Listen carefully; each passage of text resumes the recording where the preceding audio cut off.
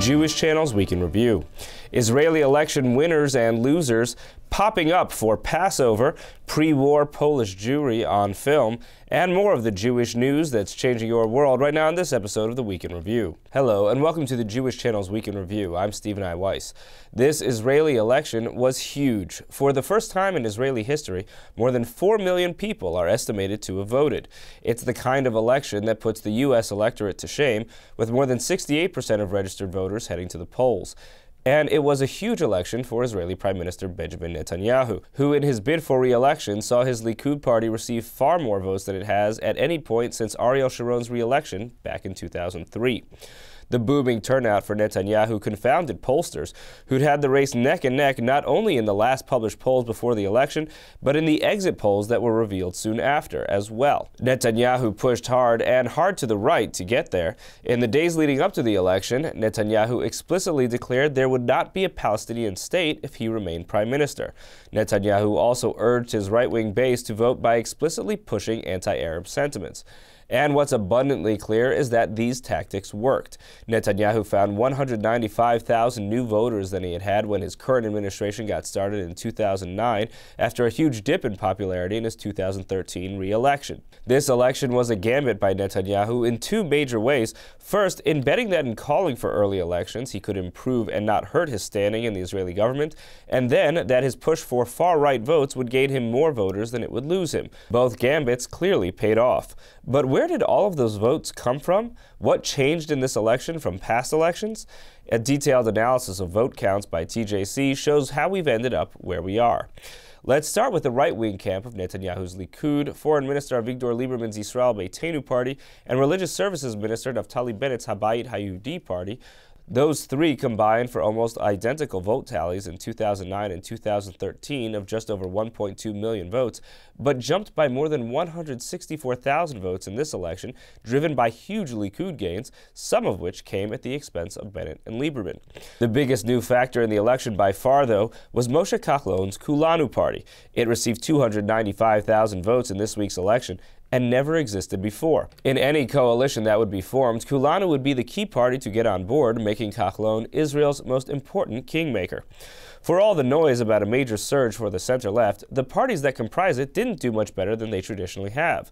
Yitzhak Herzog's and Tzipi Livni's Zionist Union Party, Yair Lapid's Yesh Atid Party, and the Meretz Party got one and a quarter million votes Tuesday, about 55,000 more than they did in 2009. The joint list of Arab parties surged to more than 125,000 more votes than they received in 2009 and will be the third largest party in Israel. But the Arab parties won't be included in any coalition. Meanwhile, small parties ranging from the Greens to the We Are All Friends party cratered. Parties that received fewer than 50,000 votes each were strong in 2013, garnering more than 200,000 votes. Small parties lost three quarters of those votes on Tuesday. The ultra Orthodox, meanwhile, have held steady but lost some influence amid the larger turnout, in large part due to internal politics that saw breakaway parties take votes but fail to reach the threshold to be included in the upcoming Knesset. All in all, it's an Israeli electorate that has confirmed once again that it is center right and leaning ever further right, with a prime minister gaining a resounding re election victory by making statements and promises that are at odds with the goals of its Western allies for a peace process, a two state solution, and greater inclusion of Israeli Israeli Arabs. Moving on from the latest in Israeli news to an examination of Jewish history in places almost devoid of Jews today, Christian Niedan reports on an exhibition of film footage of Jews visiting pre war Poland. These are images of a culture on the brink of destruction. Jews living in Poland in the 1920s and 30s, filmed by visiting New York City Jews. Today they are on display at the Museum of the City of New York as part of the exhibition Letters to Afar, which closes at the end of March. The images are drawn from the archives of the YIVO Institute for Jewish Research, who collaborated with the Museum of the History of Polish Jews in Warsaw to commission Hungarian artist Peter Forgács to make an art installation which features music by New York City klezmer band The Klezmatics. Museum of the City of New York director Sarah Henry explained why this exhibition is worth seeing. The experience of walking through Letters to Afar, I think, is really striking because of what the artist has done. He's made, in a way, a an invocation of village life in Poland through the use of multiple screens competing soundtracks and this really tender and original manipulation of the historic films. So they are both at once historical documents, but also a very human and specific artistic look at the people whose images are captured here. And it's the exhibition's approach to sound that sets it apart. So the video is accompanied by what uh, Peter Forgács calls sound showers. And in the audio, that uh, pinpoints the spot of the visitor who's standing before a specific screen. Within that audio is a blend of narration, um, the klezmatics, fantastic music, and other soundscape elements that make it a really haunting experience, I think. There's actually about six hours of video in there, but you could spend many more hours than that if you wanted to, immersing yourself in this world he has helped to recreate. To see more from Letters to Afar, please tune in to the full broadcast edition of the Week in Review. Thank you, Christian. Passover is coming, and it's the holiday known for not letting things rise. But that doesn't mean you can't have a pop up boutique, as Meredith Ganzman reports. Passover is popping up thanks to Manischewitz and a New York foodie mecca, Chelsea Market. A potato latke bar with multiple toppings, matzah pizza topped with fresh mozzarella and pesto, and s'mores made with chocolate covered matzah were just a few of the food offerings at the Manischewitz Experience, a first for the kosher company. I have to tell you, people who never ate matzah before in their life are going to go now and buy chocolate covered matzah because it's like, I don't even miss the graham cracker. It really is awesome. Celebrity kosher chef Jamie Geller was on hand to demonstrate new recipes before Passover. We are making potato pancake stuffed with smoked salmon. Geller used Manischewitz home-style potato mix. My grandmother always thought, okay, you need to get blood, sweat, and nails into the latkes to be good. Here's a nice shortcut that's delicious. Chef Katsuji Tanabe, owner of Mexikosher in Los Angeles and a recent contestant on Bravo's Top Chef Boston, is also a fan of the Manischewitz products. I especially like the canned goods, like the sardines. I, I bring it to my house and I show it to people, and people are like, oh my god, they're so good. Where from? I say, Manischewitz. They're like, oh my god. They're like, I, I didn't think they make something else besides wine. And I don't know, I'm proud of using their, uh, their stuff. It's so good. Tanabe's restaurant will be open during Passover, serving his signature dishes that incorporate strong layers of flavors. Korean, uh, Korean short ribs. Because uh, they, they don't, you know, they're all kosher for Passover, and I actually, even after Passover, I still sell them at my restaurant. For more on the Manischewitz experience, tune into the full broadcast version of the Week in Review. Thank you, Meredith. Finding out what goes into a Broadway production is about more than going behind the scenes. A veteran press agent's new book is reported on by Meredith Ganzman for a segment from our theater show, Row J. Look, look, I mean, Billy Crystal, Debbie Reynolds, Neil Patrick Harris, mm-hmm. um, Thornton, a, a, book about Thornton Wilder, um, Martin Short. This is like a Me! Theater press agent Susan Schulman's backstage pass to Broadway is in good company.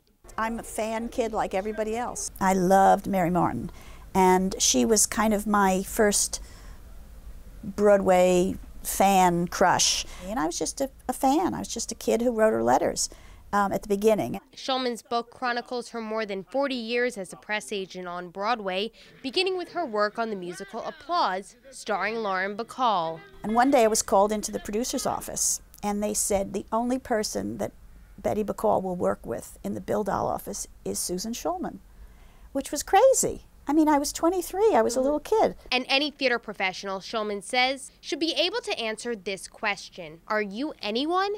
Because you're standing in a dressing room and you're talking to your the actor who's mm-hmm. starring in your show and you're standing behind them at the dressing table and you're looking in the mirror and you're looking at them all in made up looking wigged and draped and looking gorgeous and behind them is little pathetic you you know looking ordinary and it's it can be a crusher mm-hmm. if you don't have a sense of who you are and what your worth is. One larger than life personality went too far. That's Schulman with Zero Mostel, who was about to star in The Merchant before his untimely death. When we were in rehearsals for The Merchant, Cue Magazine, which ultimately turned into New York Magazine, but Cue mm. Magazine wanted to feature Zero Mostel on its cover. So I set up a photo shoot in, um, in Cue's photo studio and they shot Zero, Z as he was called, sitting on a stool for the cover. And when it was over, the photographer said, Let's take a picture of all the people that made this happen. Hmm. And so there was his dresser and some, some lighting assistants, some photography assistants, and myself. And so we all thought, oh, this will be fun. So we all jumped in and we sort of posed around Z, who was sitting on a stool. And I knelt down next to him. And just before the shutter clicked, for absolutely no reason, he reached down and grabbed my breast. And I, I was a kid. I was, not that it mattered how old I was, I was horrified. But what was I going to do? So I kind of shoved his hand away as the, the camera clicked. And that's the picture. For more from Susan Schulman's Backstage Pass to Broadway, tune into the full broadcast version of the Week in Review. Thank you, Meredith. Finally, this week on Up Close, we tend to hear a lot of people telling others how to live their lives, emphasizing the need for personal responsibility. In this week's episode, we'll move across 2,000 years of history to see some of the origins of that discussion of personal responsibility and its costs today. The philosopher Seneca is the original source of much of our dialogue around being self made and pulling oneself up by one's bootstraps. But it turns out he was born into wealth and privilege. The University of Pennsylvania's Emily Wilson explores that in her book, The Greatest Empire A Life of Seneca. And then, among those whom our society regards as taking the least personal responsibility are drug addicts, who are frequently treated like criminals. Journalist Johann Hari gives some reasons why they shouldn't be in Chasing the Scream, the first and last days of the war on drugs. Here are some of the highlights from my interview with Emily Wilson. So, what is the greatest empire and how do we conquer it? yes, so the, the, the, the, title is based on a pun which I think is really important in Seneca's work and in Seneca's life. The, what he says is that the greatest empire is to be emperor over oneself. Um, so he's looking within his philosophical writings and within his Stoic philosophy for having um, control or empire over his own um, irrational desires, over irrational emotions, over impulses towards consumerism, bad kinds of habits, um, and instead having complete control by being a good person, a virtuous person. So that's one kind of control that he wants, one kind of empire. But then, of course, the other kind of empire is the kind of empire that the Emperor Nero had, and that he's trying to. He was also, in being political advisor to Nero, speechwriter to Nero, PR person for Nero. He wanted that kind of empire as well. Interestingly, the the Senecan philosophy. Uh, is is very popular in modern times, mm -hmm. and I think for a lot of the same reasons that it might be uh, that it might have been then, which is to say, when you have an opportunity to, to have a lot of what you want, mm-hmm. what then is left for you uh, to, to, to figure out? Mm-hmm. The question that lurks in Seneca's work is what is it that you really want? What is really, really going to be happiness? What is, what is it truly to be a king? What is it really to be powerful? And on some level, really being powerful means the good, the good life and not actually bothering about material wealth. But on another level, really being powerful means exactly what you think it means. It means being the richest man in Rome. You can see the full episode of Up Close on the Jewish channel on cable. You can also listen to the full audio of Up Close as a podcast available on iTunes or in your favorite podcast player. That's all for this week. From all of us here at the Jewish Channel, be well. The Jewish Channel is available on cable. Time Warner Cable Channel 1640, IOP Channel 505, RCN Channel 268, Cox Cable Channel 1, Bright House Channel 330, Verizon Fios Channel 900, and on Comcast on the on-demand menu on premium channels. For more information, visit tjctv.com.